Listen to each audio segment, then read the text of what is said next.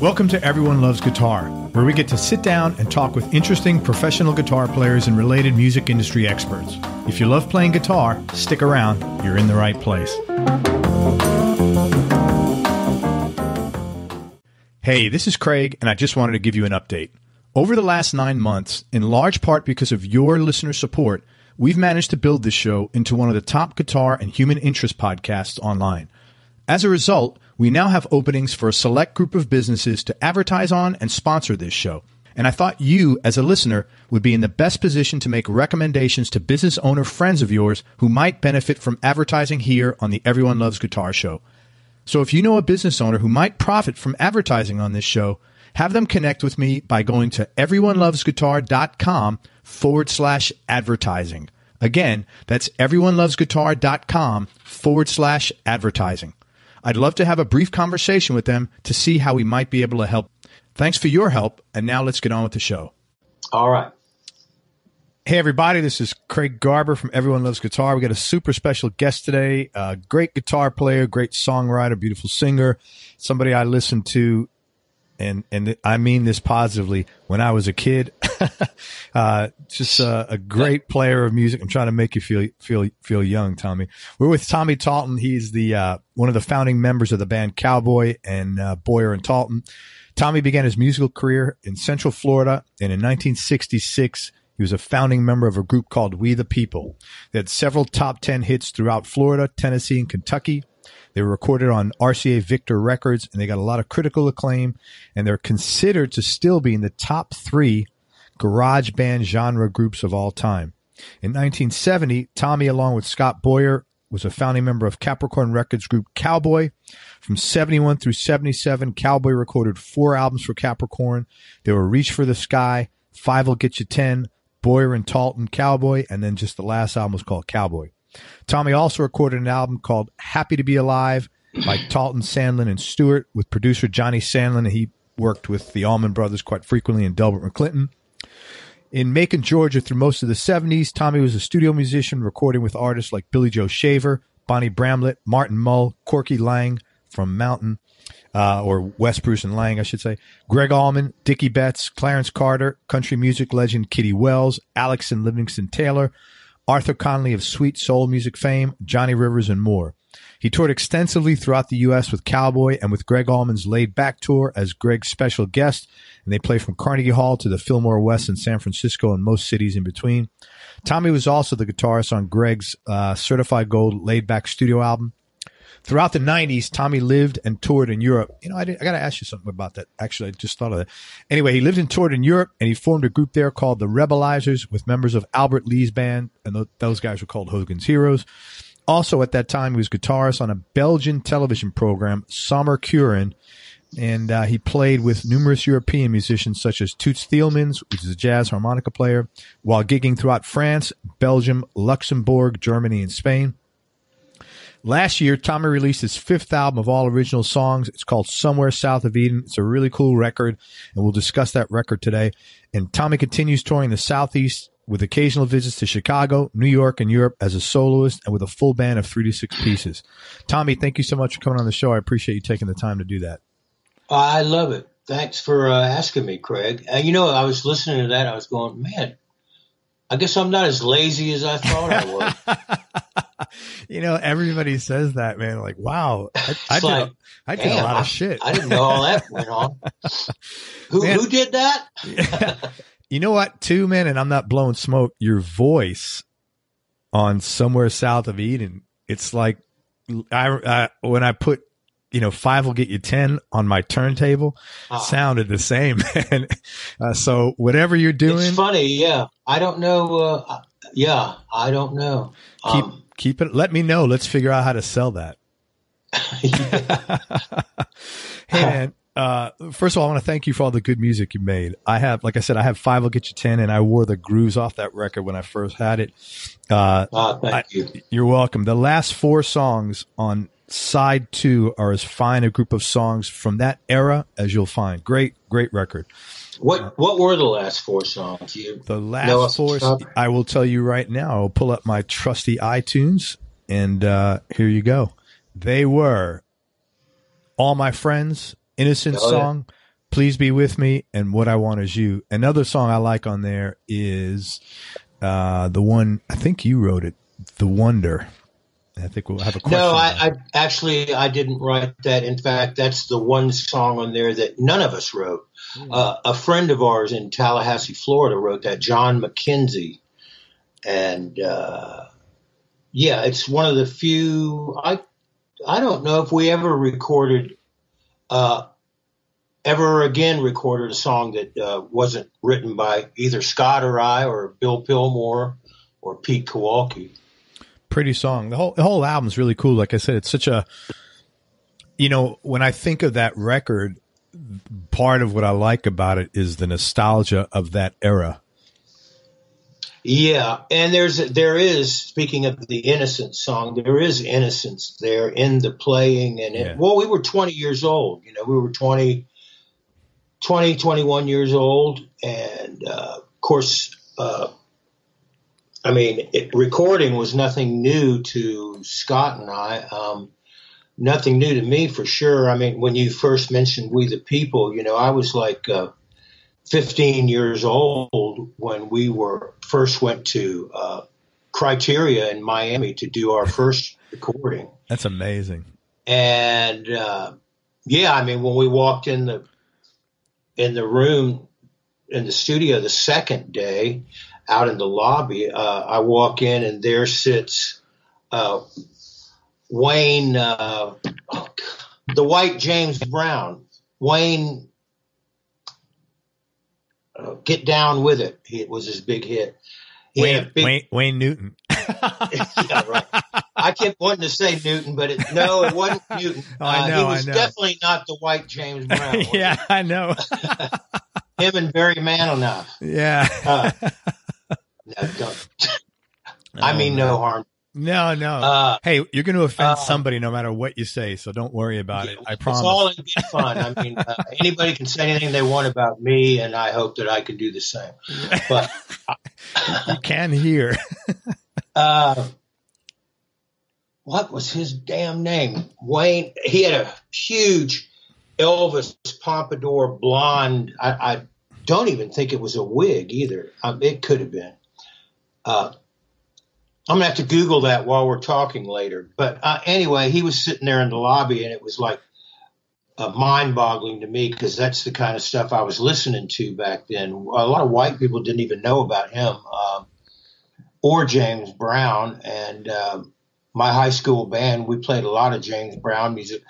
I snuck into a uh, to a, a all black nightclub back then. You know, back in those days. This is um, up in Georgia. No, this is in Central Florida in okay. Altamonte Springs near. Um, yeah, I know it's just south of or just north of Orlando, right? Yeah, yeah. It's uh, Orlando, Winter Park, Altamonte Springs, uh-huh. Maitland. That's Wayne, all. That's Wayne Cochran, by the way. It is Wayne Cochran. Get down with it. You I need remember, to listen to that. I remember that song actually.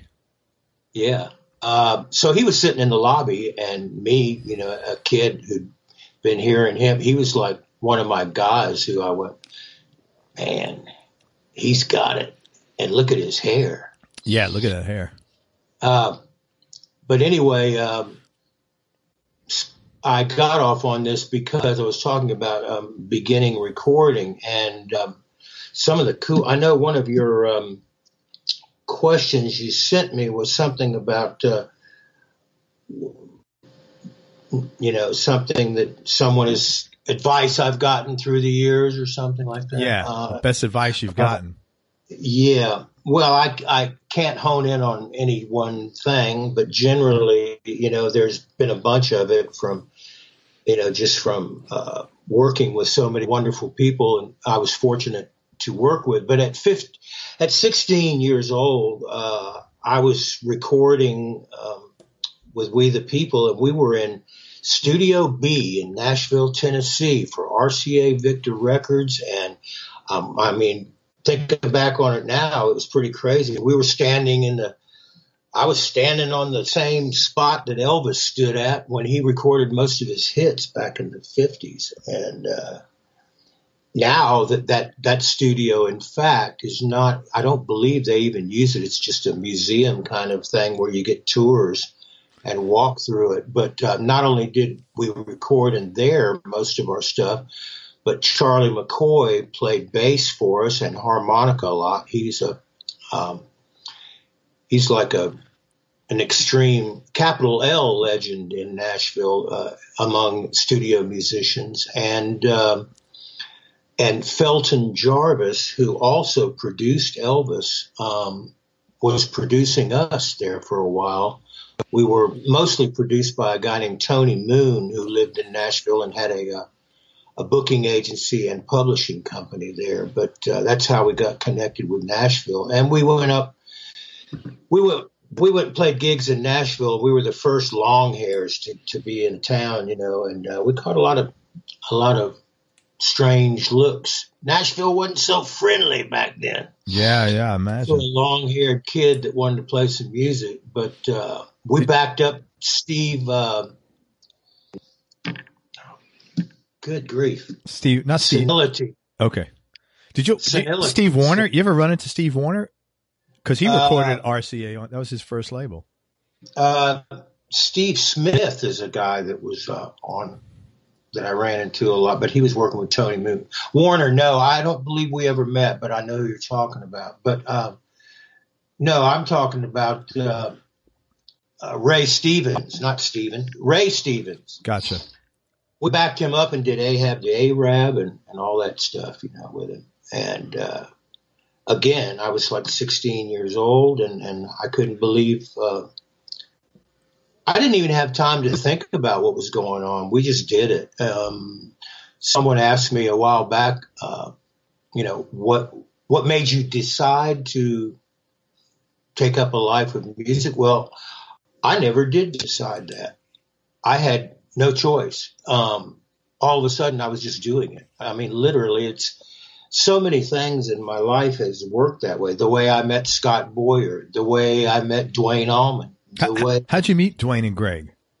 Uh, Duane and Gregg were, uh, you know, back in 1965, everybody on earth wasn't a musician, you know, hmm. and, uh, and in Central Florida, there were only, uh, I don't know, um, what, 15 bands that were probably actually working bands that you could see in, in uh, youth centers and uh, later on little rock and roll clubs like places called the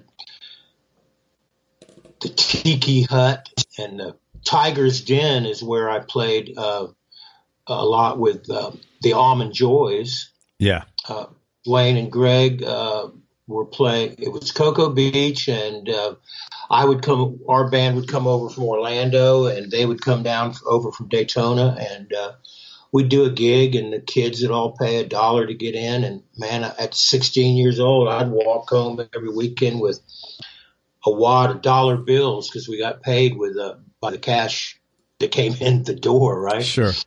So uh, that was fun, and uh, that's how that's how Gregg and, and Duane and I first met. And Scott Scott and Butch and David Brown when they were in the 31st of February uh, same time period.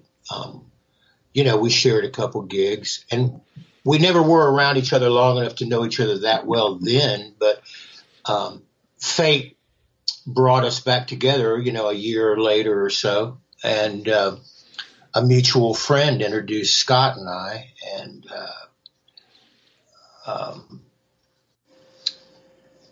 on and on it went like that. But I, as far as making a decision, as far as I knew, till I was about 13 or 14, I, there was no doubt in my mind I was going to be a professional baseball player. That was oh wow, yeah, that's all I thought about, and uh, and girls, but uh, but yeah, I was very athletic back then, and and I I was track and field and baseball, and that's all I thought about until until I was at my uncle Frankie's house. My uncle, my Italian uncle Frankie, who I'm named after, Frank Thomas. Um, he always had little knickknacks sitting around, and uh, I find out now, I realize what it was. When I was about eight years old, I went into his house and opened a guitar case that was sitting on the floor. And uh, I opened it up and just stared at it. And it, it had a silver reflective body, which I know, now know was a National Steel Dobro. Mm-hmm. And uh, I had no idea then, of course. And I just, I remember I remember leaning over and plucking the high E string of the dobro and just standing there and watching it vibrate like in a trance and and I thought, man, I've got somewhere in me there was this desire to I've got to find out what's going on in this world right here, you know. And uh, I just told that story to Derek Trucks just like 3 weeks ago I was down at his place and for some reason that came up in conversation. We were talking about the first time he played dobro. Yeah, I handed him his dobro and, and said I had a friend who sold vintage instruments and uh, Derek was 10 and uh, I said I said to my friend Tony, I said, "Man, Derek's over here. He's playing at a club. This was down in Orlando, and uh, he's never played a dobro. So could you, you got one you could bring over? And he brought over this really beautiful, I think it was like a 1932. And, uh, on the back of it was this beautiful in color, uh, woman skiing across the, the surface of the water with palm trees in the background. On the dobro? Yeah. Wow. That's... Yeah, it was on the back of the dobro. And, uh, I'll have to ask him where that thing ended up. But of course, you know, we handed it to Derek, and like 15 minutes later, he was playing like a 75 year old black man that had been doing it all of his life. Yeah. well, he's like, un, you know, he's off the, he's not of this earth when it comes to that. I mean, he's yeah, it's got crazy. a gift, you know, that that's extremely unique. Yeah. Um, hey, you mentioned Scott earlier, and you know, and I, first of all, my condolences. I know you lost him earlier this year. Yep, yep. You want to talk? Oh, I can't imagine. You know, um, do you want to talk about your musical relationship or the friendship you guys shared over the years? Oh well, I mean, yeah. I mean, I don't. I really don't know what to say. We were so close. Um, guess you can already hear it in my voice. Yeah. Uh, I don't know what to say really, except that we were just so close that um, it was something we never even talked about. We never, uh, again, it goes back to what I said earlier um, about having to make decisions. I don't even know what it's like for um, someone to have to to decide what am I going to do with my life because I, I, never had to decide, and neither did Scott. Um, we were just we were just led into it little by little um, along the way, and um, suddenly we were introduced by a mutual friend. Um, uh, I was told that there was this guy, uh, and and like I said, we'd met before. I said, "Yeah, I've heard his name. He was in a band. Uh, we shared a show once, but we didn't know each other." And uh, I was told, "Yeah, he's he writes songs uh, as good as you do, and I said I hate him already. and, uh, not really, but um, he. Uh, she said he plays and writes his own stuff, and at this time I was not used to that. Everybody I met was doing Bob Dylan songs or learning, uh, as Martin Mull once said, learning licks off of records that I've heard. But um, so it was real nice to to be hooked up with someone who was creating and uh, and then uh, we literally we sat down in in the kitchen of the house we were at and we each had our acoustic guitars and Scott played um,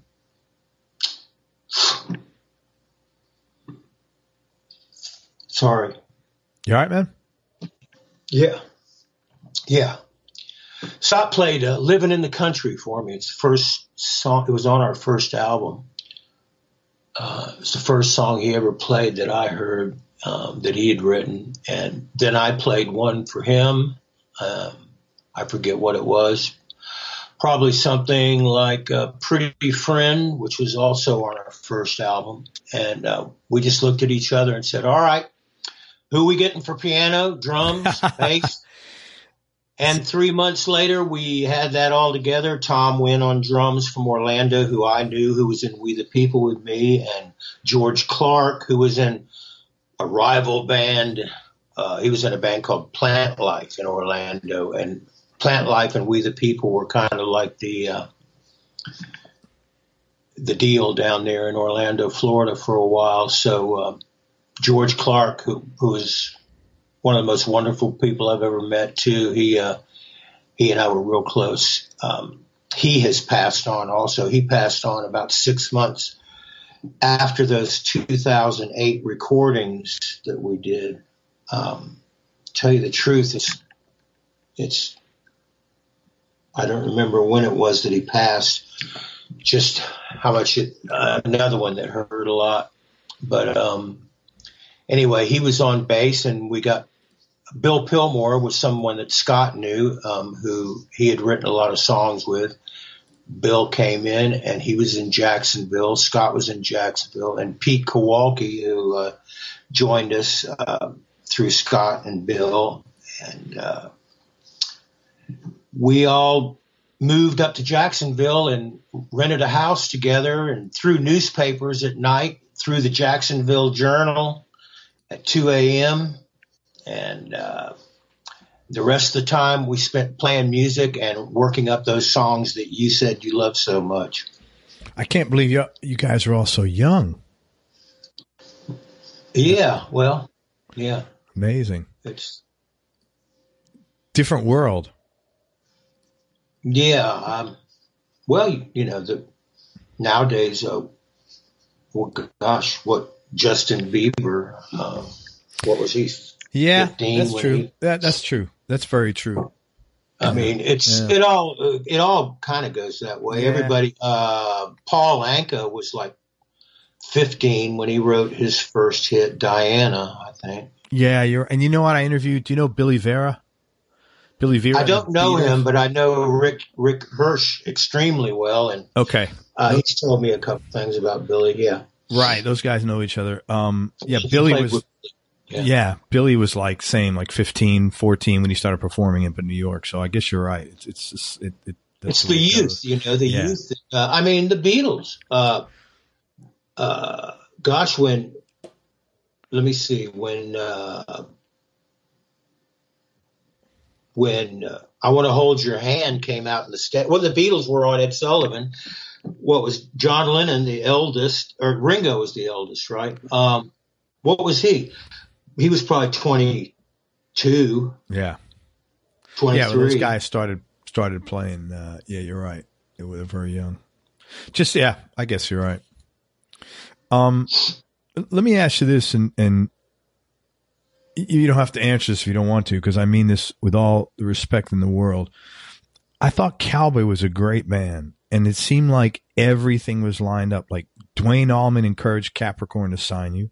He yeah. played on Five Will Get You Ten. Yeah. You guys opened for the brothers. You played for Gregg. Okay. Yeah. And you played on on on the Allman uh, Brothers and Sisters record. Everybody's yeah. playing was great. Your playing was great on guitar. Singing was great. Songwriting was great. Even Clapton recorded one of your songs, Please Be With Me.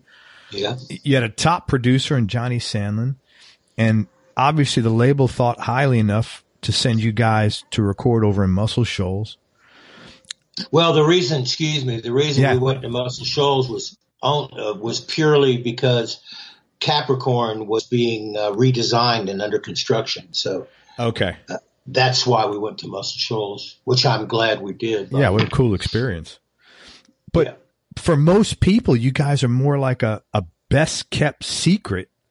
Yeah, the yeah. And, and, like the I, most popular band you've never heard. Yeah, it was you know, and I'm I was curious if and I said this in the questions. I have another artist that I have an interview with, and it was a little later, but the same thing happened to this person, and he was on Capricorn. So I'm just curious: did the label not like do their job? And I'm not looking to get gossip or dirt, but I'm just like, I can't believe why you guys we're not, you know, the next all, you know, not the next Allman but you know what I'm saying. The next, you know, Yeah, somebody was well, opening for we- you. Yeah, well, we obviously were not uh, in the uh, high energy Southern rock uh, genre. I mean, they called us Southern rock because they didn't know what else to call us. Uh, Gregg, both Gregg and I have always said uh, um Southern rock is. I mean, we just never liked that phrase, but I guess you got to label it something. So that's what it became. It was rock, and it was in the South. So there you go. Right. But I mean, you, But, look, uh, to, you, you look at, to me, I, I, you know, the, the Eagles, some of the old Eagles stuff. Well, I was just going to say, Chris, Jackson Browne, you know?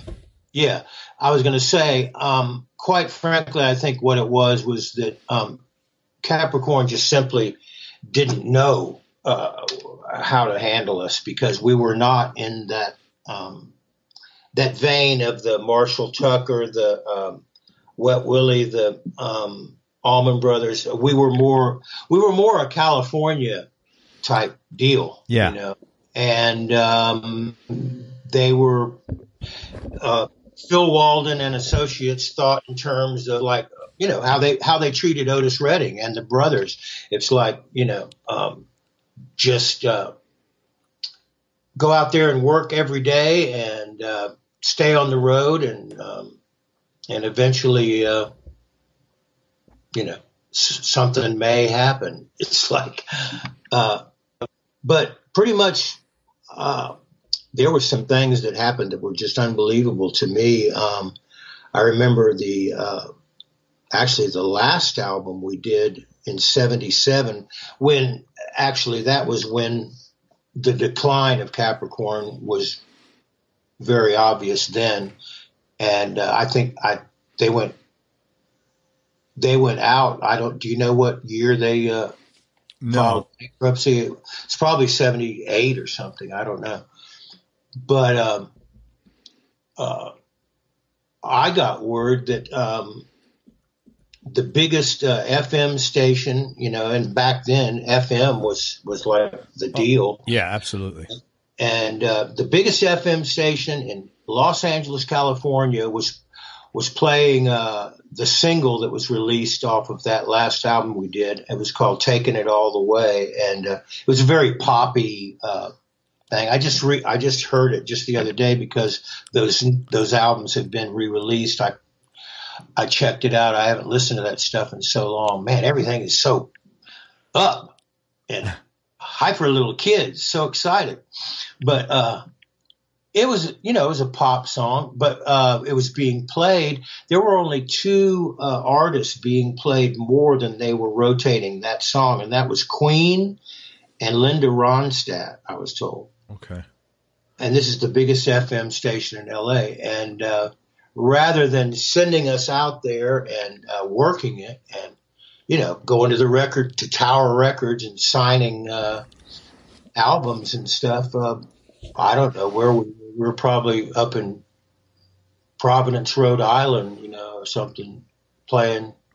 Uh, who knows? But there were some mistakes made, and I, I there's no need for blame or anything else. No. What happened happened, and all that. And um, you know, I'm fortunate enough to. Uh, you know what, Craig? The um, coolest thing is, is I don't know how many people can say that um, they've had people come up to them, and I've had people come up to me shaking and say, I can't tell you what your music has done for my life. And um, one guy at the Fillmore East, this kid from Brooklyn, came up to me after our set. He said, I just bought your album and I just wanted to let you know that when I put it on the spindle and I and I and it starts that plastic starts turning around, he said, uh, it's a lot more than a piece of plastic. He said, your lyrics and your your music changed my life for the better. You know. Very cool, man. So when you hear stuff like that, all the money in the world couldn't really uh, replace uh, knowing that you have helped somebody in their life. You know.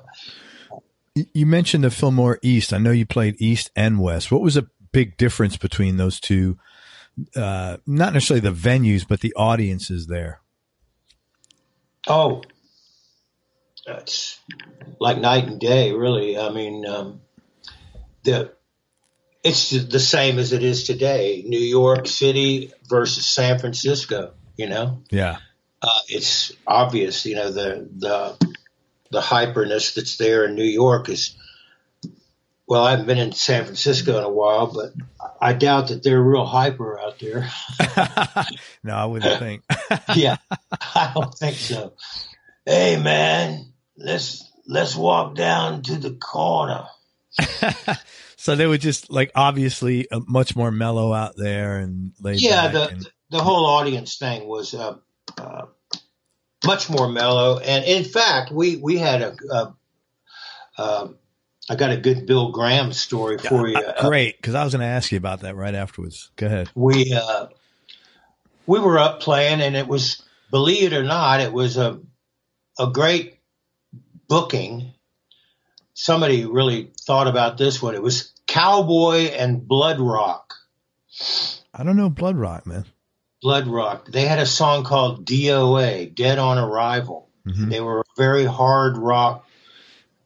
Uh, they were hard, and they were like the opposite of Cowboy. Mhm. And and they had us on the same show, man. And and we went out and opened the show, and some people were were like not very respectful, and you know, in between. Mo- I must say the mo- the major. Uh, the major bit of the audience, they were listening and respectful. Um, but there was some loudmouths out there who were, you know, yelling, "Get off the stage! We want Bloodrock!" You know, shit like that. And this uh, is this is at East or West? East. Okay, that's what I thought. and uh, so Graham, Bill comes out. All of a sudden, he I feel the air move next to me, and he's he has run by me and is go grabs the microphone and he and he starts telling the audience, "Man, you listen to me." He's saying to the entire audience, "Y'all." Uh, he didn't say y'all. no, he didn't say. you, you people, you people need to understand that I opened this place to bring you the best music that I think you should hear, and it's worthwhile. Everything that I bring in this room is worthwhile for you to listen to. And if you don't understand that and you can't give the people that I bring in this room respect, then you go home and get out of here right now. I'll give you your money back. You go home and you listen to your goddamn 45 records. wow, that is so cool. Yeah. And some guy s- stupidly said something in the audience to that. And within seconds, security had him up out of his seat, uh, carrying him to the front door and literally threw him out on the street from uh, physically. Wow, you could, you know, I, Because- sorry, go ahead.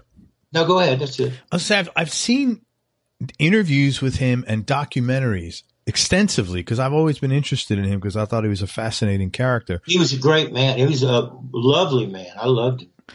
But there, seem to be two sides to him, like the side that you're describing now, and then, and I don't know who got to see what side. There was a very like, Well, I can tell you, you saw the bad, the the, you saw the anger come out of him when when he saw that that you did not respect what he thought you should respect, and and you didn't give respect, and you had no respect, and you were, you know, a knucklehead. He didn't like knuckleheads, you know, and he wouldn't stand for it, and he wouldn't stand for people who who uh, do nothing but spout negativity. You know, that's where he was at, yeah. and he didn't hold back. You know. So you had a real good experience in dealing with Bill. Yeah, another time out on the West Coast. Uh, this time it was with uh, the Laid Back tour, and uh, we were all out on the stage getting ready to start the night out on the uh, at, at uh, the Fillmore West, and uh, Bill comes out to introduce us, and uh, it turns out that that night, at the same time, strangely enough, across the bay in Oakland, he was uh, also promoting a show with George Harrison. That's weird. Yes, and uh, and you know, nowadays people would go, "What? You're competing with yourself with a Beatle over there, and you're uh, and you got another show going on over here with Gregg." Yeah, that wouldn't be cool. And uh, but back then, apparently, uh, he thought, "Why not?" And uh, he seemed to usually know what he was doing. But anyway, that was what was going on, and uh, he walked by me as he was going to the to introduce us at the front of the stage. And as he walked by, he hit me, he slapped me in the butt and whispered in my ear and said, Tommy, how does it feel? You guys just outsold one of the Beatles. Oh, wow. Yeah. wow. That's crazy. Yeah. that's, wow. Yeah, but it was funny. He just, it all happened within a split second. You know, he was walking, didn't even break stride. He slapped me on the butt. And then when he was like passing me, he put his hand up and said, How does it feel? You guys just outsold one of the Beatles. And then he went on his merry way, kept going. And then he went on and introduced the, uh, the laid back tour. Wow. What, what did you learn most from your experience with Cowboy, either like musically or business wise or, you know, performance wise or even life wise in general? Um, there was a lot learned there. Um, it was, um, it was a pretty, it was a, it was a unique situation the way, um, we were all there at, at, just the right time and, and, and everybody had there were a lot of different personalities in cowboy. Um, uh, you know there was the extreme laid back and the extreme you know uh, i was probably the most hyper uh, although most people who know me now or even back then would think wow yeah, if you, you, were the most hyper. hyper, if you were the most hyper, those guys were half dead. But uh, you seem pretty laid back, man. To be, I was kind of confused when you said that. Well, I, you know, I, I was an excitable boy. Mm. Put it way. But, um, you know, but it all fit together well. It, it, it all was necessary to bring about the, the beautiful music we made. I mean, I, am not even. Uh, I, I, don't think I'm not saying that in an egotistical way. The the music that we made, I know I I I'm not in any wonder as to why people like it. And what's really funny is it was proof that um, the technical side of music has nothing to do with what is important to what music can bring people because as far as uh, being virtuosos on our instruments, none of us were uh, were that. And um, you know, I mean, we were creative maybe, and we were uh, we did what we could uh, as we thought of it, and and as we created it. Uh, you know, we got better at it because we just did it. Um, Am I making sense here? Yeah, totally. You're like uh, saying that uh, what's important is what's coming out of your instrument and how you're touching well, somebody. You don't need to be, yeah. you know. I mean, you can play. You can play. Well, I. am Sorry to quote myself, but I, I even said it in one of our songs. Uh, there's a song called "Everything Here" that's that was on, I think, the first album, and uh, there's a line in it that says uh, don't you do that, boy? You're worrying so. You're complicating every little thing. You ain't got to play so many notes if you get what each note brings. Yeah. And that's pretty much it. Um, uh, but the way that it all came together was just fun. I mean, we were all, no one was, uh, it wasn't like, what can we do here to have a hit record? Nobody ever thought like that, which is why we probably never did have one. Uh, but uh, it was, uh, we were all in it for the music. And that's what comes through on, especially, well, I, I, to each his own, but most people prefer the first two albums because of the innocence that's there and the vulnerability that can be heard and the and the beauty of the harmonies and such. Yeah, you know? I would say that. and lyrically, um, there were some. Um, as as the kid told me at the Fillmore East, you know, it, it helped change some people's lives if they listened to the music. I've always been a big. Um, I vote for a song having good lyrics. Um, I mean, I want a good beat, just like they always did on American Bandstand. But um, after you've heard the beat, and after you've heard, you've gotten off on the the crazy guitar solo, and after you're over listening to the cool licks on the drums uh, or piano, whatever. After all that is out of the way, you can listen to it again and go to another level and go, "Wow, I didn't realize they were they were saying that." You know, mm. uh, I've always thought it's great. Uh, I'm sure you've done this from your curiosity. Um, but when you see lyrics to any song written in black and white rather than hearing them sung, oh yeah, man, or spoken, they have such more impact uh, written down in black and white than they do uh, just floating through the air into your ear. You know. I, and I still do that. Just yesterday, I, I, you know, I don't remember what song it was. Uh, I always look up lyrics. I think it was, uh, just some song I heard from a, a, a, TV show the night before that I liked it, and uh, I looked. at That's everything. I mean, you know that that allow for me anyway. I and I think a lot of people are like this. That is where I I get to learn and I get to like feel that connection with the the artist or the person singing that, you know, deeper. Yeah, yeah. I think so for me anyway. But yeah, um, I think it's true of everybody. Hey, I'd like to ask you about that one of the favorite one of my favorite cowboy songs and then talk about a few songs from your latest album because I really enjoyed it. Um I, I mentioned earlier the wonder. It's from Five Will Get You Ten. And the lyrics, speaking of lyrics, where is the wonder that could weave us all together? I hope that it's not gone forever. What were you guys talking about in that line from the chorus? Well, as I said, that was written by John McKenzie, uh, yeah. a friend of ours, and uh, I don't know. To to me, the wonder is like, where is that? Where is that compassion and understanding that should be and can be between us all that could weave us all together? Um, uh, I hope it's not gone forever is a very optimistic thing. Yeah, man. I don't know.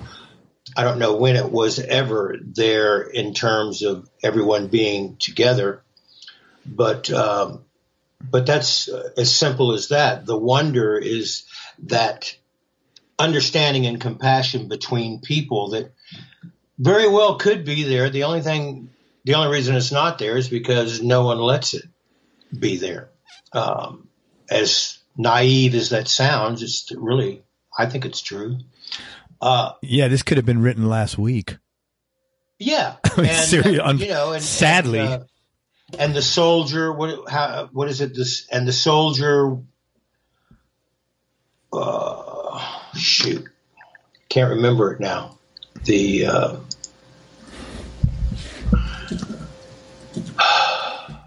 where's the one? the last verse is something about that.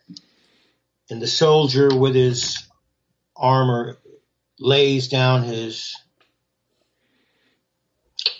You know, I could I I tried to find the lyrics online. I couldn't find them. They kept they kept coming up with something called "The Wonder Years" by Cowboy Killers. So it was like I was. yeah, I remember that one. Yeah, I kept getting frustrated, man, because I really that that's a perfect example what you're saying. Because I, when I was, you know, I had listened to the song years ago, and I said, "Man, let me listen to the, let me get the full lyrics." And sure enough, I couldn't find it. But I, you know, that was such a beautiful line in the in the chorus, man. Um, yeah, I've got it. I'm looking in my documents right now. I've I don't have the uh, lyrics. I've just got the song here right now. Uh, While you're looking, go ahead. Five will get you ten, man. That is one of the coolest album names. And I never ask, I rarely, I should say never, I rarely ask about names because everybody does it. I don't like being like everybody. But where the hell did that name come from? Five will get you 10.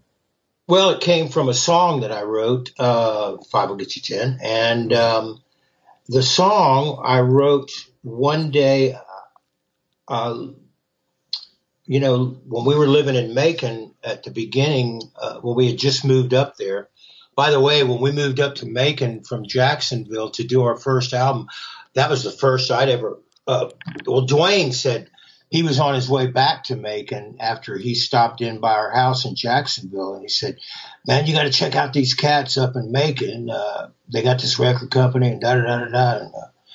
Uh, uh, that's the first time I even heard of Macon, Georgia. I never heard of it growing up, even though Otis Redding was was uh, from Jeffersonville, right near there. I think it was Jeffersonville, and uh, and of course that's where Phil, who put Otis on the map or helped put him on in front of the international scene. Uh, we were living in Macon though, and in I remember Macon. I had I had this uh, weird thing about Atlanta, I, which is where I live now. Well, north of it in Marietta, but I spend a lot of time in Atlanta, and um, uh, I had this thing like it was almost like Sin City, you know, like uh, Gram Parsons song, you know, on the 34th, 36th floor. Uh, but I, I really didn't like coming to Atlanta. We were doing some gigs here, um, and uh, we were driving to Atlanta from Macon, and it was uh, as the song, the lyric says, the rain came down all over, we were slipping side to side on the road, and then um, same. Some days you don't look up, and today was like a day that it showed, which is just my trying to get through my optimism. Uh, of we can make it through the rain and and all that, but it was also about um, my views on reincarnation and what we go through here in life on this. I hope I'm not getting too heavy with you. On no, the, man. These, just, I'm, I'm going to ask you some questions about that. Go ahead. These uh, these planes that we live on, you know, as we are in different uh, stages of evolution and involution. Um, uh, and learning uh, the lessons of the universe as you go through life and uh, hopefully learning something. And um, uh, five will get you 10 is a pretty good bet that you're going to come back again. Oh, okay. Okay. And learn more your next time around. So, so is what, what time around do you think this is for you? Wow, that's that's an unanswerable question. There, I, I I don't think it can even put be put in terms of years or numbers. I would say. Uh, I don't know, man. What what you what uh, which one are you on? I don't know, man. I'm having a hell of a time getting through my first. I don't really know if I can handle more than one. I know what you mean. Yeah, man. Uh, let's talk about somewhere south of Eden. Yeah. Which could also be a a topic of reincarnation. Yes. Um, great mix, super clean. Uh, I was curious where you recorded at and did you mix and engineer this, or did you have someone else come in and do that? Well, I was in, involved in all the all the aspects of the record, but I had uh, I couldn't have done it without uh, first of all David Pinkston, an old friend who was uh, uh an assistant engineer for a while with Johnny Sandlin and Sam Whiteside at Capricorn Records, and um, so David and I have known each other uh, since like 1973, four, five, somewhere around there, and uh, he lives up uh, in the Nashville suburbs, and uh, he's got, he had a a nice little uh, recording room that uh, I went up and did uh, that's how I started the whole process. I went up and in two days I had uh, Chris Donohue, a bass player uh, that plays. Uh, he's done a lot of stuff, but he's also plays bass with uh, Emmylou Harris's band, and um, Brian Owings, uh, one of my favorite drummers ever, if not the favorite, that I played with a lot. Um, he he plays with Emmylou also, but he also, uh, this is funny. I, have always thought this is great. Him and Tony Joe White go around the world as a duet. Uh, Tony Joe White with a drummer, period.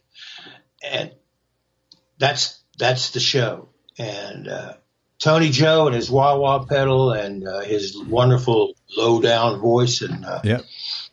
and, and Brian on drums. But, um, the three of us got together there at David Pinkston's studio called Boomtown Records uh, Recording Studios, and uh, some of these songs were not even finished yet, and I and many of them had no lyrics. I just wanted to get a good feel going between bass, drums, uh, and and I would I played uh, acoustic guitar, and uh, they were all what what we call scratch scratch uh, parts that would be eliminated uh, later on in the process.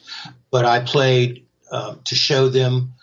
Let I would say while we were recording, let's go to a verse here off the top of my head. That's how the arrangements on many of these came up. Uh, mm. let, let's go to a chorus now. All right, bring this bring this up dynamically here. We're we're in a guitar solo, you know, and yeah, I really had to just kind of go through it and kind of foresee the future or where it would lead us, and uh, and then hopefully have something to put there later on in the process, which um, which is what I did. I was going to do it up, continue it up there, but it was just such a long tri- uh, trip to go back and forth to Nashville from uh, where I live, three and a half hours I found a friend, Markham White, who has a studio here just 15 miles from me.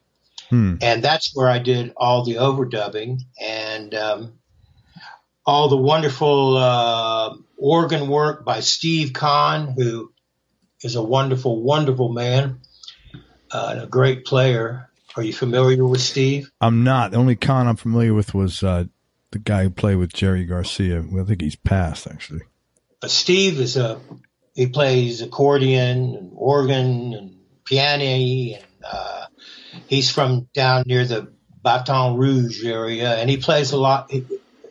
If you hear keyboards on a Sonny Landreth album, you're probably hearing Steve Conn. Oh, okay. And uh, he also played with Bonnie Raitt many years ago. But anyway, he put some organ on, and we did that by. Uh, I would send him. Markham White was uh, uh, the fellow who has helped me out with all the overdubs and and helped me with from his studio that's just as I said 15 miles from my house. And uh, that's where I did all the overdubs. Wrote lyrics after the tracks had been cut. Um, I didn't have any any I had I think a half a verse to South of Eden before the track Wait a minute. uh, you wrote the lyrics for this after Yes I had wow. the title, I had the title, and I had a few lines, and that was it. Is that and, typical? This seems like it's a lot more difficult to do, doesn't it? No, actually, I've, I've done that a couple times. Um, no, it's not normal, uh, but then neither am I uh, on wow. many different levels. Um, it's kind of fun to do. It's kind of like doing a crossword puzzle. You know, you have this much space. Well, yeah, your real estate's predefined. Yes, which is kind of helpful in many ways. It's mm. like instead of wandering, you know, wandering off and saying too much, you've got to edit and become more specific um, because you know the foundation is laid, and uh, you got to put a wall up where the edge of the foundation is know. Wow. Is that the first time you ever done it? Have you done that many times? No, no, I did that on that Happy to Be Alive album that you mentioned. There were a couple songs on there. Uh, Stalemate Blues, especially. There's a song on there called Stalemate Blues. And I remember we did the entire track to that, and I didn't have one word written to it. Wow. And I took it home after we had the track and sat and listened to it and just started writing. Uh, that title song, Somewhere South of Eden. Yeah. it's some beautiful slide on there you open up with. Thank you. Thank you. Yeah. Well, that also uh, was added after the track was cut. Is, is that you? That's you playing though. Yeah, that's me on the organ and on the on the uh, slide. Yeah, because I tell you why that happened was um, south of Eden.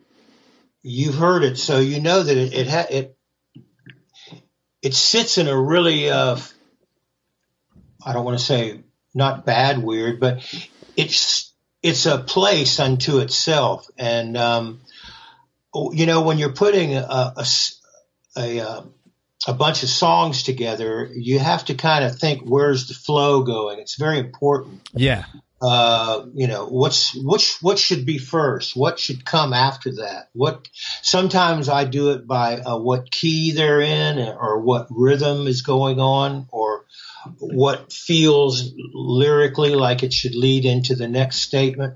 But uh, so South of Eden, I already had that from where it starts. From there's a, a drumlet that goes, boom, boom, boom, bom, bom, bom, bom. You know, when that starts, that that was the track. But before that, I thought I told Markham, I said, man, this this song sits in such a strange place. I don't know what song would lead the listener into this feel and get and make and the listener be ready to hear this. So I said I've got to put an intro on this that kind of pulls people into this oh, world. Okay, that's interesting. How that? Okay, so these uh, this is what I like, man. This is all the little like inside secrets that I you know you don't get sort of exposed or privy to that. So you added that so, so that, that it can, the listener would be pulled in and get ready for what they were about to hear. Man, that is so clever. I'm not again. I'm not just like saying the guy. That's that's. I'm sure that's a songwriting thing, but you know, I'm not a songwriter, so I think that's really smart. Well, very cool, man. And you know, nice. I noticed you did that old school. Like, if this was a, an album, that would be the last song on side one.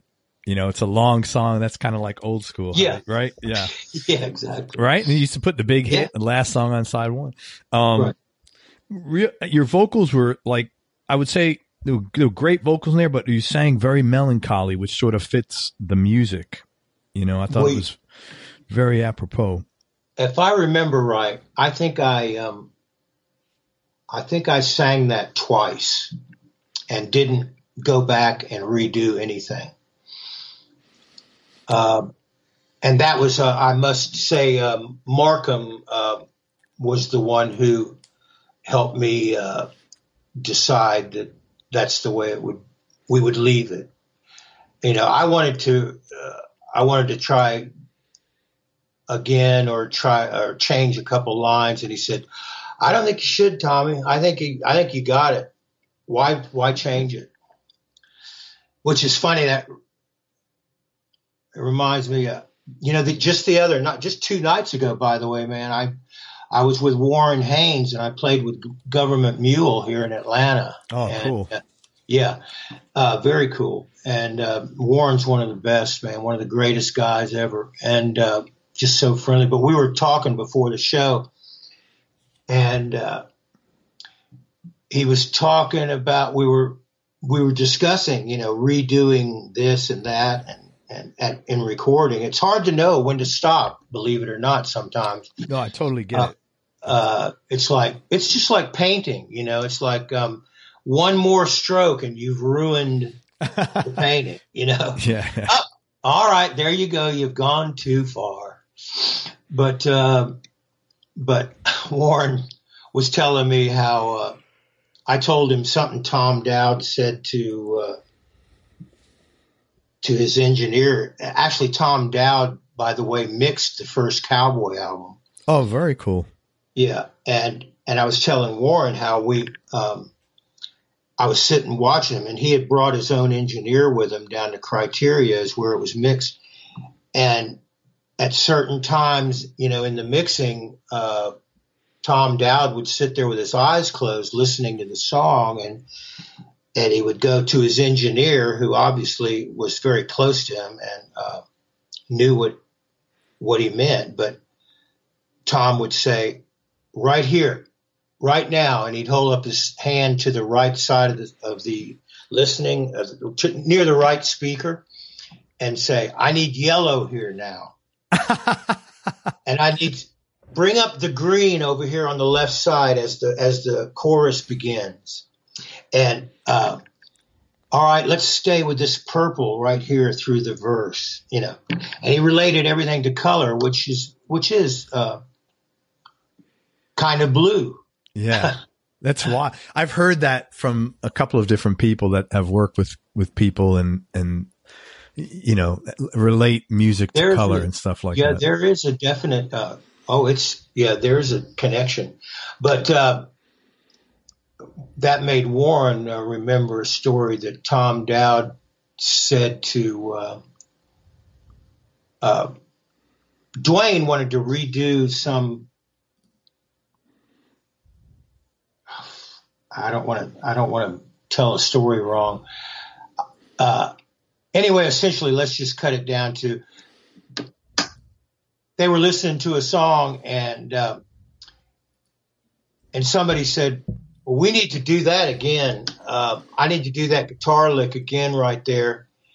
And uh, Tom said, "I don't think so, but you go ahead. You go ahead and you go home and you listen to this overnight and sit back and listen to it like you've never heard it in your life."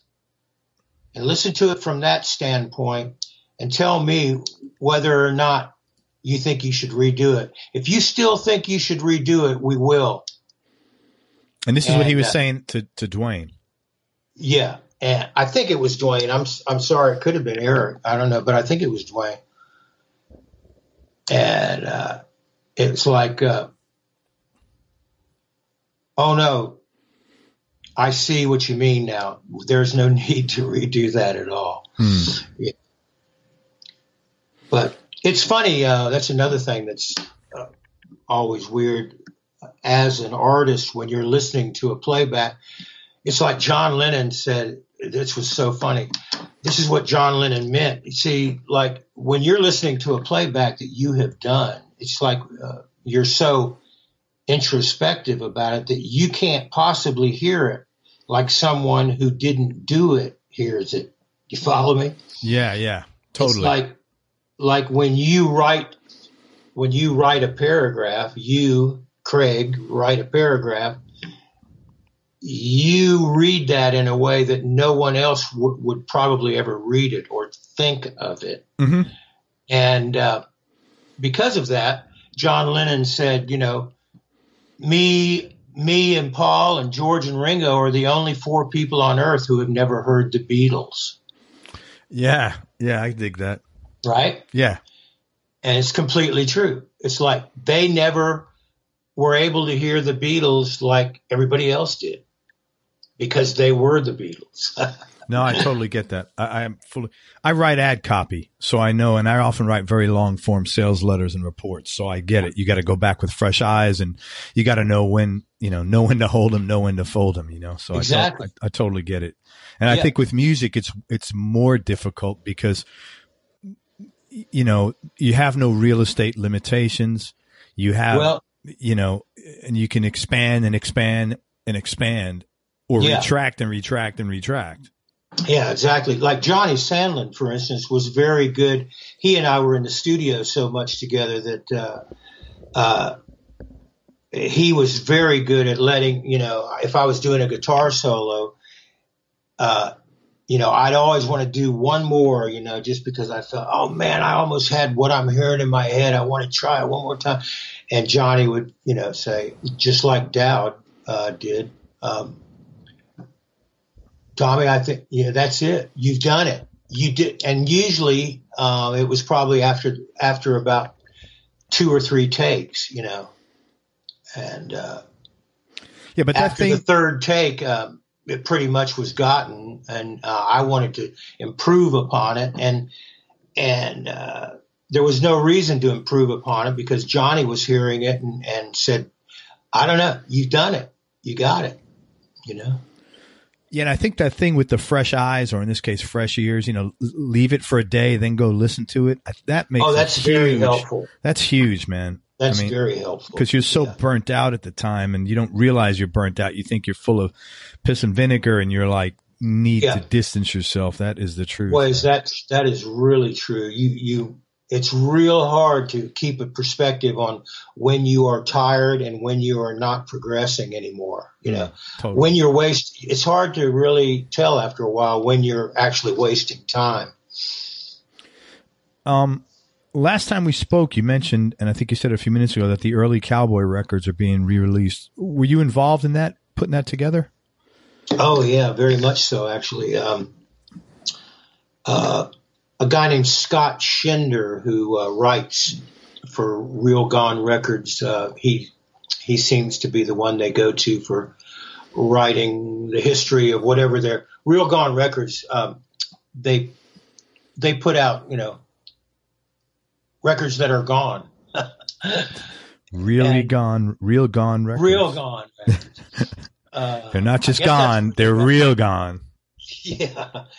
Uh, Gordon Anderson uh, and his partner Gabby. I can't remember Gabby's last name. Sorry, Gabby. Uh, but the two of them uh, uh, are Real Gone Records, and they're really good to work with. They're very thoughtful, and they want to put out top-notch stuff. And so uh, I help them out with old photographs and uh, history, and you know, kind of this and that. Um, that and Scott Schinder and I, he, he interviewed me about this and that. And they've put two real nice booklets uh, in each of the two uh, releases. The Boyer and Talton album uh, is unto itself. And by the way, there it's called, they called it the expanded version because they also got the rights from uh, Universal Music Group, who owns all that um, all those recordings now. Uh, they also added the two cowboy songs that were on the live laid back album with Gregg. Um, my songs, um, "Time Will Take Us" and "Where Can You Go." That's cool. They, they are added to the Boyer and Talton album. Did they give you? A, they didn't give you a hard time about that. That's weird. Seems like record companies never like just accommodate anybody. Oh, they they could care less now. I you know if if someone hadn't asked them if they had those songs, I don't know if they'd even know they had. Okay. Maybe that's fake. Uh, maybe that's negative, but I don't. I don't think so. I mean, the only reason they knew they had is because somebody said, "Would you look these up?" Yeah, you know? yeah. Uh, maybe not so much, but uh, there's a lot of people who work there most of the people who worked there weren't born when that came out. You know what I mean? yeah, I hear you. I'm serious. Yeah, I and uh, and also uh, another what might be interesting to you is that the Boyer and Talton album. If you'll look at the liner notes and who played on it, you'll notice that it's all the same people that played on the studio version of Laid Back with Gregg. And actually laid back and the Boyer and Talton album with Johnny Sandlin producing both of them were being recorded at the same point in time whenever we were all in town. Like if Gregg was on the road with the brothers, uh, we would work on the Boyer and Talton album. And then if we were on the road doing a cowboy gig and Gregg was at home, he would come in with Johnny and, and work on some vocals or uh, an organ part on whatever on laid back. Oh. And, oh. uh, yeah. and so, so the Boyer and Talton album and the laid back album, those sessions were actually could be thought of as one entire session work. Hmm. Interesting. So I mean, so you guys were extremely close and like a, a fine tuned machine as far as playing with each other. Yeah, we uh, we we had our little man cave there, and uh, it just happened to be a fine studio, and uh, we had a helmsman, we had a captain, and we uh, we uh, just played. You know, Toy Caldwell walks in the door, and you say, "Toy, Toy put a Caldwell. pedal steel on this. Put a pedal steel on this one." Uh, Haven't heard that Yeah. name in a while. That's cool. yeah, Toy was a wonderful guy too. Uh, Warren and I were just talking about what a great joke teller he was. But um, yeah, I mean that's how it was back then. Um, we would like that uh, "Happy to Be Alive" album you were talking about. That it's um, actually uh, Talton, Sandlin, and Stewart. Um, the way that happened was uh, we were waiting for um, Johnny was waiting for Dickey Betts to show up one night to do some guitar overdubs on Ramblin' Man or something like that, Blue Sky, and uh, we uh, he was a little late, and uh, finally Johnny said, "Tommy, you got any new ones we could record?" And I said, "Yeah, I got two or three right here," and I played him one, and Johnny and Bill Stewart and I went out in the studio and recorded a song called "Help Me Get It Out," and um, Johnny showed it to Phil Walden the next day, and Phil said, "I like that. Why don't you guys do an album?" There you go. And I've said this many times, but how can something like that happen today? You know? No, it it, it doesn't. It, it Doesn't. rarely, rarely, Yeah, I don't. It's uh, rarely. yeah. But that's how that album started. And, you know, while we were doing it, we would be doing, oh, I don't know, we'd be playing a song and Drew Lombar from Grinderswitch would come in to listen because he had nothing else to do. And he was in the neighborhood and, uh, and Drew would say, you know, Drew said, Tommy, let me put a guitar part on that section. I said, sure, hit it. And, uh, you know, it wasn't like, could you have your people call my people? Uh, we're going to be needing some guitar work at three o'clock on Saturday. You know, So everything was of just that. very organic. organic, falls together naturally, Hmm. and uh, I think that might be a lot of the uh, the reason it feels the way it feels. Uh, it certainly was not uptight. You know, it, it was laid back, Oh, and totally laid back. most man. of that stuff was. I remember a great line. We were working on a Livingston Taylor album once in there, and Jon Landau was producing it, and you know he was uh, he was hyped up from his New York Cityness, and uh, he's a good guy, and he was a great man and a good producer and a great writer and everything. I'm not saying anything bad about him. I just thought it was funny, but Livingston was doing a vocal and. Uh, you know, he got a little hung up on one of the things that was it wasn't working right vocally, and and Jon Landau pushes the talkback button to to tell uh, Livingston out in, in the in the playing room, uh, Livingston, don't get uptight, just hurry up. what a wonderful Uh, wonderful way to settle a guy down. Huh? yeah, don't get uptight. Just hurry up. Yeah. But um bump. Boo-hoo. Hey, um, d- were you originally from Central Florida? I was born in Orlando. Yes, I was. And I lived in Winter Park, uh, which is right next door. Sure. And uh, yeah, my family was from there. My uncles and my grandfather and uncles on my mother's side laid half the sidewalks and drive cement driveways in Winter Park, Florida. What was your childhood like growing up? Oh, it was um, I don't know. It seemed to be pretty smooth. I didn't. I don't remember too much going wrong, uh, uh, except for the fact, which is a pretty heavy thing. Um, my father was killed in a car accident when I was like five years old, and I'm sure that shaped a lot of uh, um, my uh, outlook on life and stuff. Uh, yeah, I would imagine. Not only not having a father, but not, but you know, I remember that certain aspects. Uh, he worked for Winn Dixie, and uh, he was a supervisor for many stores in the Green Cove Springs, High Falls, Jacksonville, Palatka. It's uh, the northern Jacksonville area of Florida back mm-hmm. in the 50s. And, uh, and, uh, but my childhood, um, I don't know. I guess it was normal in most aspects. I liked playing baseball. I used to in grammar school from fourth to sixth grade, every Monday and Wednesday, I'd wear my little league uniform to school so I wouldn't have to come home and change before I went to play baseball. That's how much I loved.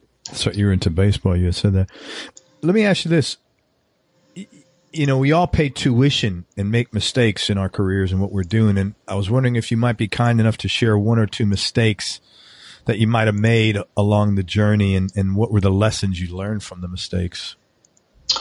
Oh, well, that's pretty easy. Um, I made the same mistake many of us made back then, uh, and that was um, overdoing substances um, because they were always around and there was nothing else to do when you weren't playing music. So, sure. Um, I uh, I had a problem with alcohol, um, which um, I'm I still drink a glass of wine here and there, and uh, but I don't drink any.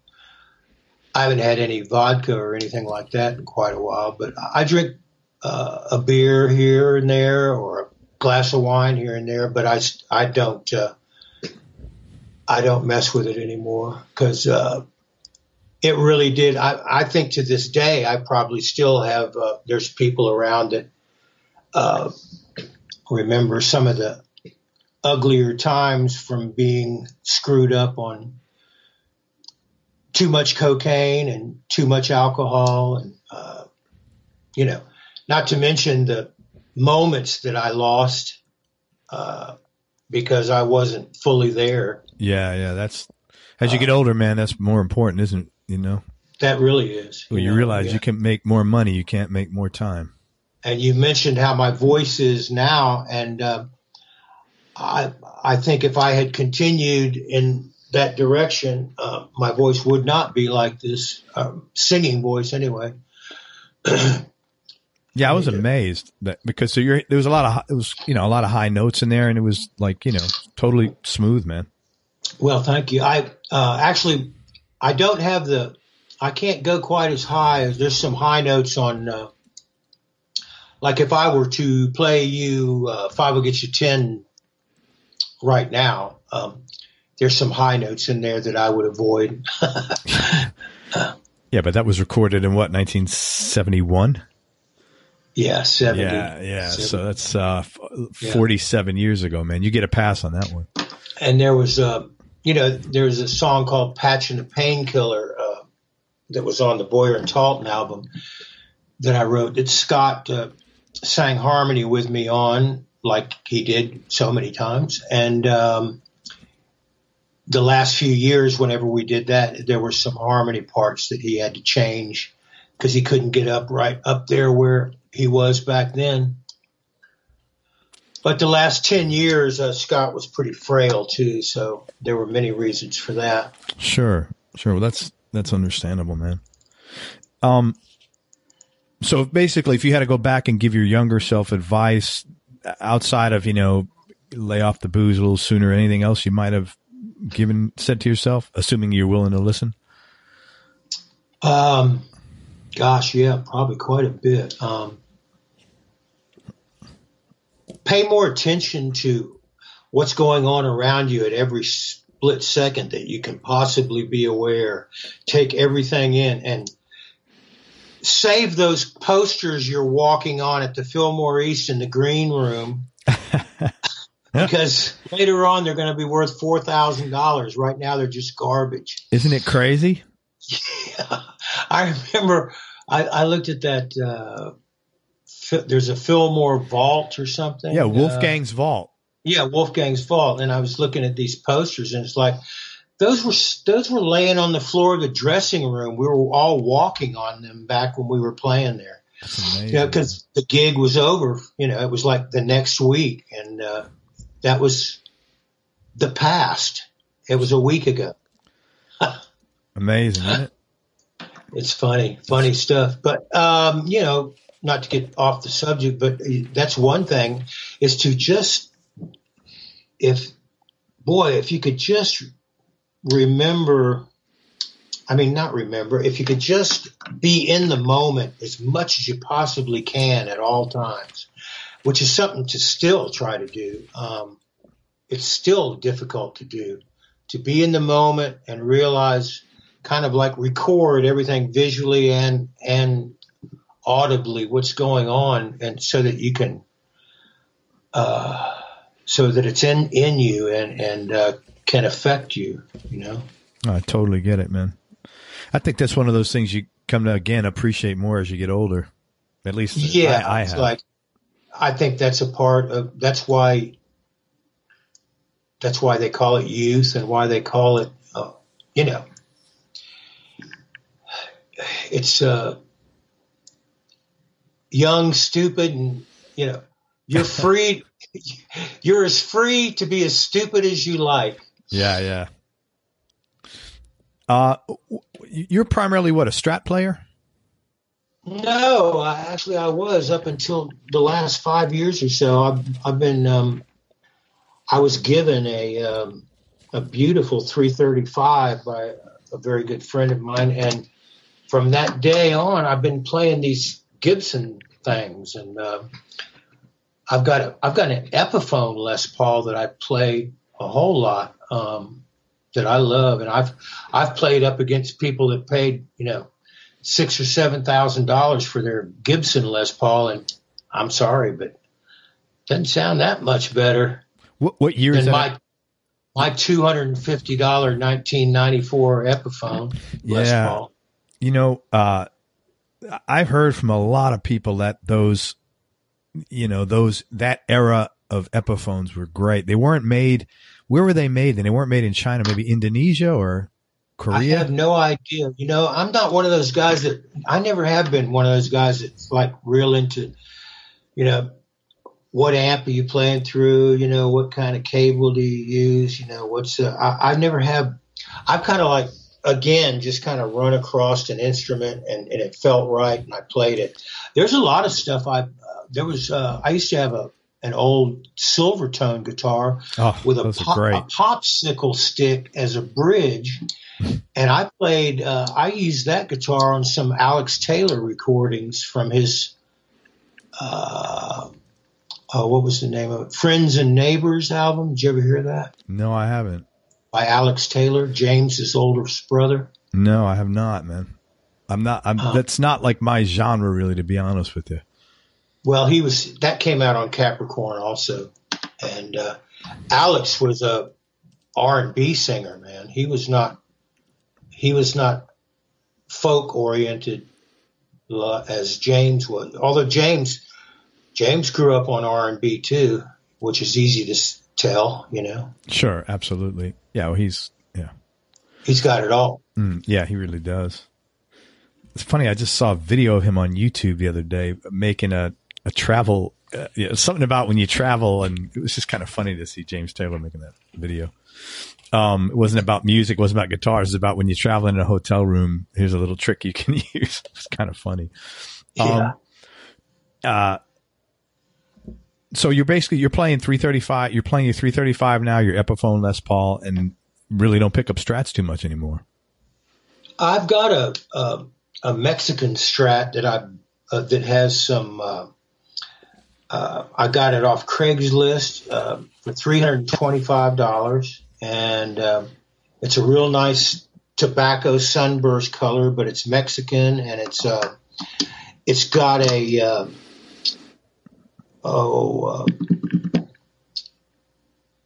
sorry senior moment going on here. Um, the pickups are um, EMG pickups that come in a uh, That's in a package. The the uh, the pick guard and the and the volume knobs and the, and everything are all one piece. Sure. And you just stick it into the thing. It's uh oh, it's David Gilmour. I was going to say it's a David Gilmour. Yeah, yeah, it's a and David boy, Gilmour. that thing sounds great. Um, but I haven't used it in a while. Um, See now you know But, Jack yeah. Pearson. Jack Pearson would say you paid two hundred dollars too much for that. yeah, I know. Jack, Jack likes his Squier. he told me he played it. His Squier cost him eighty bucks. It was amazing. That's the best boy, does it sound good in his hands. in his hands. Yeah, right. That's Well, that's another thing too, Craig. Is it like everybody talks about, you know, buy this pedal and and play this guitar and, and it'll help you sound. It ain't the guitar. We all know that. Yeah, It's yeah. the touch. It's the touch and the approach and the uh, wisdom behind the moment. That's what it is. Yeah, yeah. Uh, that's where the sound comes from. Tommy, what what's the most important things that you've learned about yourself throughout this whole journey you've been on? Oh, I've learned that I'm a very fortunate human being. I can tell you that. I um, I've always tried to um, to treat people right, um, although at times I haven't because of probably those substance abuse things. Mm-hmm. Uh, but um, I have always uh, tried to treat people right, and um, I think it's coming round to me. You know, uh, I feel better now with myself and more comfortable with myself than I ever have, and I'm um, actually playing better than I ever have, and um, uh, hopefully writing um, better too. So. Um, Do you? I've think- just learned that I, I've learned that I'm very fortunate and that I need to remember that. And when I don't remember it, and when I don't remember how wonderful um, the universe is, that's when I start getting in trouble. Hmm. And that's when things um, don't flow as Yeah, well. yeah. And the and and things like stupid worry come into existence that uh, are completely uh, have nothing to do with anything and are not helpful in any way. And um, so I just need to. I've learned that I need to remember how fortunate I am to to have had the life that that I've had, and um, and still have the chance to um, leave behind some, um, hopefully, something that will help somebody else along the way. Do you think that some of the reason you're playing better than ever is uh, tied to the fact that you're, you know, you're more comfortable with yourself than you've ever been? Yes, Yeah, I Definitely. imagine. Yeah. yeah, exactly. I mean, that's got everything to do with it. Um, uh, I never was also one one of those players that tries to. Uh, I mean, the ego thing with playing can get out of hand with some people sometimes. You know, there, there's nothing worse than there's no room for competition and when you're playing music, and you know, you, you, we've all run across different people, uh, you know, while playing music where some people just have to, you know, like turn it into a uh, competition, and, and that's just not music. I, I'll, I'll I'll literally put my hands down by at my side than to continue that uh, Yeah. approach. You know, No, it's, stupid. it's a it's ju- it's a childish, egotistical thing to do that has nothing to do with music. Period. No, So, hundred percent, man. I agree with you. um, and you know, and you uh, the way you live your life, I believe you're drawn to the to the people who who um, can help you contribute to a more positive way flow in your life. You know, so um, that's again comes back to try to always be aware of being in the moment. You know. Mm, for sure, man. Hey, when you're having a bad day, what do you do to turn things around? Um, a lot of times I'll just go to sleep. but uh, but um, you know what I was doing right before our interview? I went out and um, like when I get uh, mental when I get mental blocks about writing or if I am feeling down about something, I'll go out and mow the lawn or uh, clip bushes or um,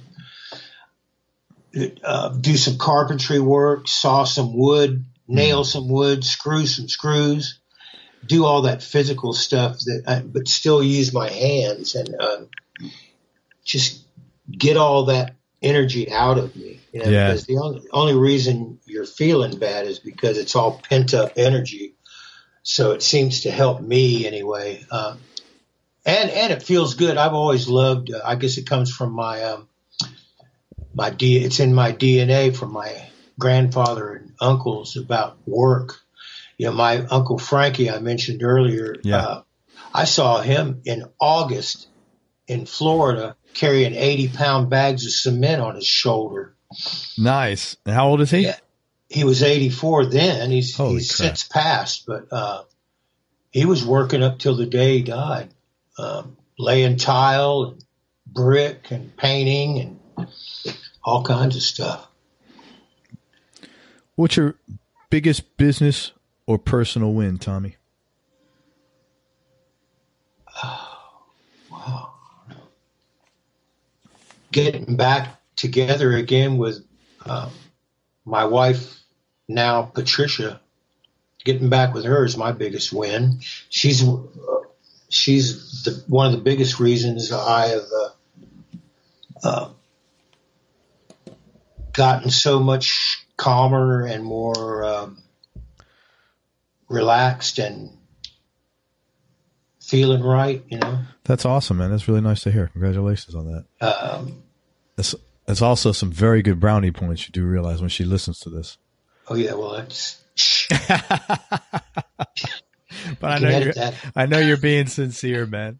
I am. I know. And uh, you see, we were together in 1980, and then went our separate ways. And she had a oh, daughter. Oh, wow.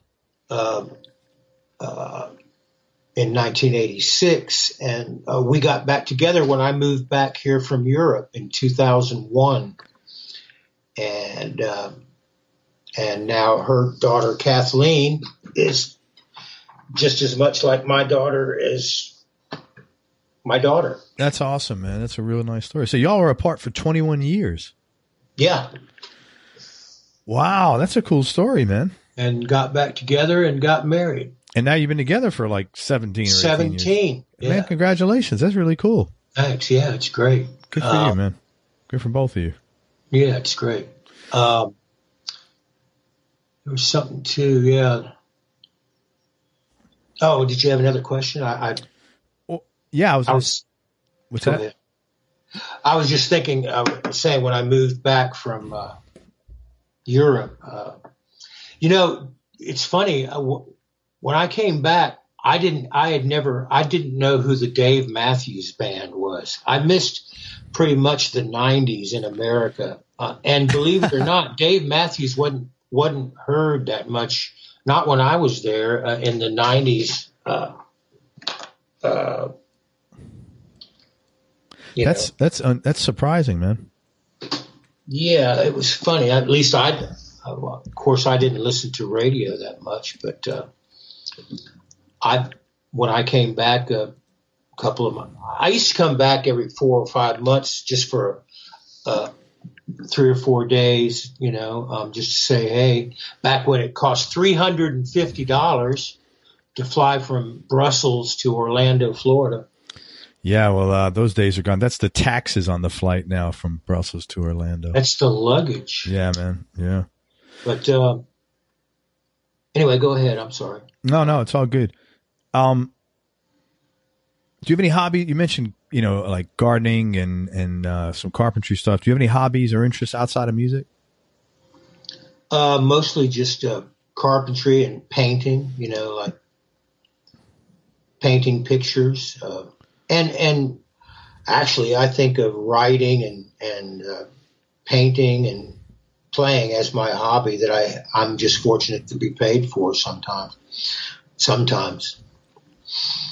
I hear uh, It's pretty boring, really. I, I no, I'm not. I I used to like. I can't tell you as much as I was into baseball back uh, in my youth. I uh, I can't tell you very many players nowadays. Not like uh, old Colonel Bruce could. Hmm. We would. He could tell you what uh, you know what day what day Mickey Mantle's foot hit first base on his 3000th hit or something, you know. But, you, but you're just uh, casual, more of a casual fan. Yeah, I I don't even I don't remember the last time I watched an entire baseball game all the way through. I'd love to go to a live one. They just built the new uh, Mercedes Benz Stadium right ten miles from my house, uh, where the Braves For play. The Braves. Yeah. Where the Braves and the Falcons play, yeah. Mm. I was for some reason my son and I, my younger boy and I, we always go to a Tampa Bay game. For some reason, we're always going to see them play the Falcons. I don't know why. It just seems to be the game we see every year when they come down here. Yeah. So you're in Tampa, right? Yeah. Yeah. Knowing life is precious and time is not infinite. What's the one thing most important to you as far as like what you're doing with your time and making sure you're using it whatever time you have left wisely? Well, that's that's a real good question, which I can answer because uh, another thing is is I never I never thought of time and I never thought of uh, yesterday and tomorrow. I, I but lately I have been since I just turned 69. I, I was thinking, you know, uh, just the other day that um, let me see.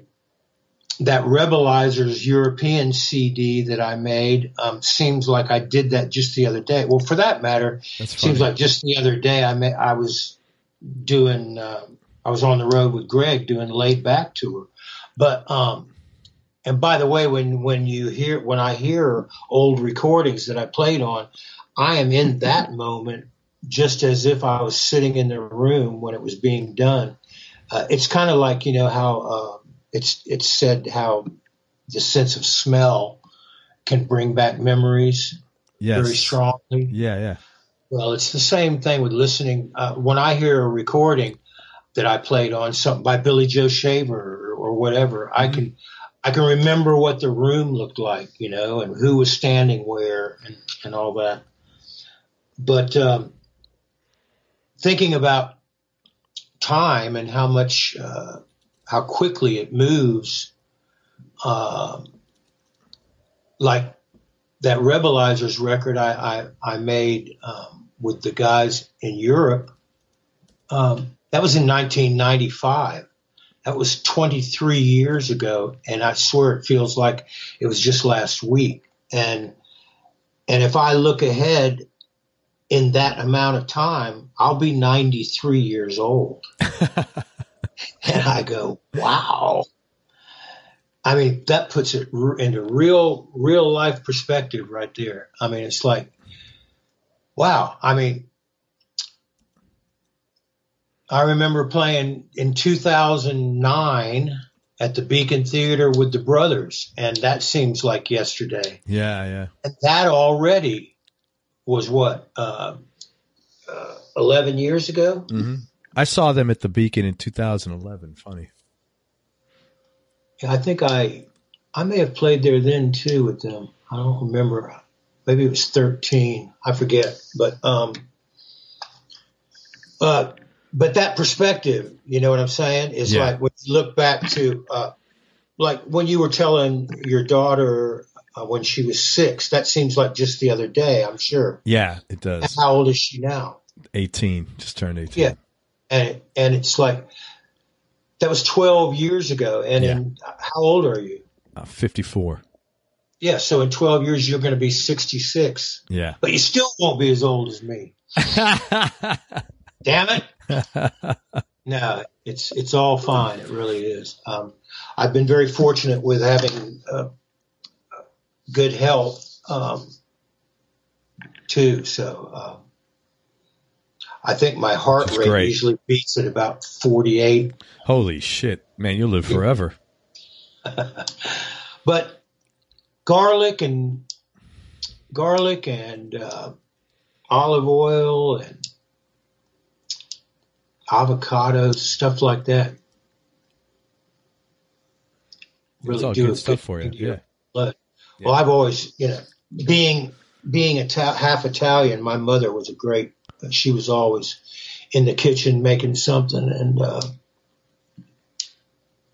I think that has a lot to do with my health. The genes, the genes, and the the way that she uh, fed us and all that. I, I don't know. Who knows? But I'm fortunate. That's for sure. In many ways. So the one thing that's most important to you is staying grateful. Is that what you're saying, basically? Yep. Um, um, that would be the most obnoxious thing I could do is to uh, is to start forgetting how fortunate I am, and uh, so that's what I try to remember every moment. I'm getting better at it, but always room for improvement, right? Man, for all of us, absolutely. Hey, I, I want to thank you very much. I want to tell people uh, where they could find some of the stuff you're doing and uh, what they should listen to and look for. First of all, it's Tommy Talton. He's the founding member of Cowboy, Boyer and Talton, play with Gregg Allman on uh, the Laid Back album and the Laid Back tour. And he played a song on the Allman Brothers, uh, Brothers and Sisters. You can buy his latest album, which is called Somewhere South of Eden. It's a really nice album. I mean, it, it almost sounded like if Cowboy kept going on, you know, it was just like, well, thank you. Very, you know, nice, just laid back, nice music. Rock, but, you know, more like that California rock. There's rock in there. Yeah. There's a little bit of jazz too with me and Chuck Leavell on the Poblano instrumental. Yep. If you've oh, heard that. Yep, I sure have. I like that one. And also there was rock on It's Gonna Come Down on You for sure. Uh, you can check out Tommy's music on his website at Tommy Talton, T-A-L-T-O-N music.com. And also it's available on Amazon. Cowboy has just released two of their records, the last two, Boyer and Talton, and the album Cowboy itself. And in 2008, 10 years ago, probably hard for you to believe this. Uh, yeah. Uh, the original members of Cowboy got together, and that album is coming out this summer. And the name of that album is 10 will get you 20, which is a sort of a, a takeoff on their hit album Five Will Get You Ten, which is a great, great record. If you know, it's inflation. You know what I'm talking. I hear it's you, inflation. man. It, shit goes up, and uh, that's it, man. I, I, appreciate your time. Did I miss anything or anything else you want to talk about? Oh, that seems fine to me. I I uh, hope you have something there you can use. Listen, man, I appreciate all your time and, and thank you very much uh, for everything. And uh, thanks for all the great music you put out over the years. And uh, you're a real sweet guitar player, and I enjoyed listening to you. Thanks a lot, Greg. That means a lot to me. And um, let's just stay in touch. Man, that's all good. The next time you come down to Florida, let me know. You got it. In fact, uh, I was just talking to someone yesterday about that possibility. So I'll let you know. Let me know. Go have a cigar. If you smoke cigars? I can. we could, yeah. we could we could have coffee and cigars. There you go, and Italian right. food. you got it. Yeah. Hey, everybody, thank you so much for listening. I hope you enjoyed this interview as much as I did. Many thanks again to Tommy Talton for uh, spending his time with us and being so cool and sharing all these great stories. Go to everyonelovesguitar.com, sign up to get our newsletter and to get some special offers. And most important, remember that happiness is a choice, so choose wisely. Be nice, go play your guitar, and have fun. Till next time, Peace and love, everybody. I'm out. We hope you enjoyed this show. If you did, subscribe to the Everyone Loves Guitar podcast, and you can do this online at everyonelovesguitar.com or on iTunes. And if you like the show, please leave us a five star positive review. The more five star reviews we get, the higher our show ranks, and higher rankings mean we get to continue speaking with cool, interesting guests on our show. We'll see you on the next episode, and until then, keep playing your guitar and have fun making music.